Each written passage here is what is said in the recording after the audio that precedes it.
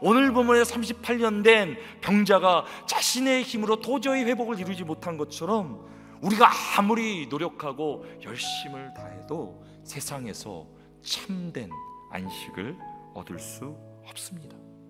참된 안식은 우리의 행위로 얻을 수 있는 것이 아닙니다.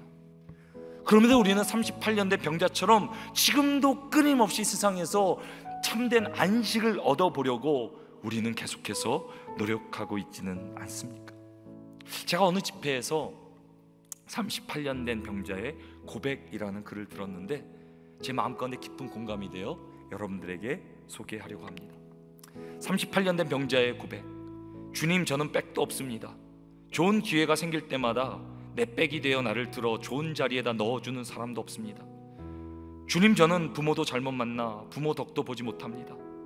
저는 온갖 열등감과 낮은 자존감에 시달리고 있습니다. 제가 가는 동안에 남들이 나보다 먼저 앞서갑니다, 주님. 제가 좋은 직장을 구하는 동안 다른 사람이 먼저 좋은 직장을 구합니다. 주님, 제가 시험 준비를 하는 동안 다른 사람은 먼저 시험에 합격해 버립니다. 주님, 제가 이제 학위 논문을 쓰는 동안 다른 사람이 먼저 학위를 취득합니다. 주님, 제 삶에 마땅한 배우자를 찾는 동안에 다른 사람이 먼저 결혼합니다.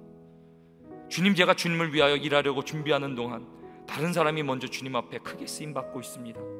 주님, 저는 늘 이처럼 다른 사람보다 뒤처지게 살았습니다. 저는 항상 뒷자리에 앉습니다. 저에게 관심 갖고 저의 어려운 형편을 살펴주는 사람이 없습니다. 그래서 병든 상태에서 소망도 없이 이렇게 살아갑니다. 이것이 38년 된 병들은 현대인의 고백입니다. 이런 우리들을 향해 예수님은 이렇게 말씀하십니다. 예수께서 이르시되 일어나 내 자리를 들고 걸어가라 하시니 그 사람이 곧 나와서 자리를 들고 걸어가니라 이날은 안식일이니 당신의 삶이 왜 이렇게 되었고 왜 이렇게 되었는지 설명해 주지 않으십니다. 그저 이렇게 말씀하십니다. 일어나 내 자리를 들고 걸어가라.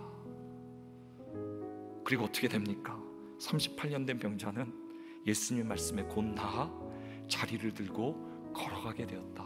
오늘 본문은 기록합니다. 사도 요한은 이날을 안식일이라고 전합니다.